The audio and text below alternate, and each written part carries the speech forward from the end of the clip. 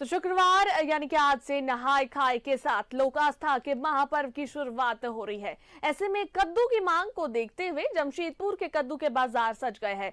कद्दू की कीमत 25 से 40 रुपए तक प्रति किलो है।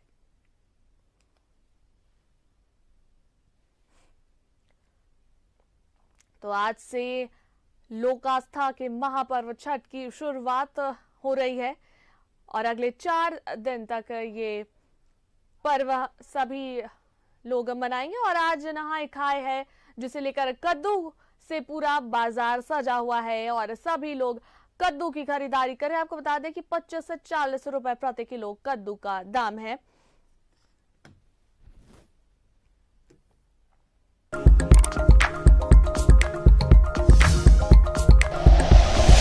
Like and share videos, subscribe करें हमारा चैनल और प्रेस करें बेल आइकॉन। न्यूज़ 11 भारत, सच है तो दिखेगा।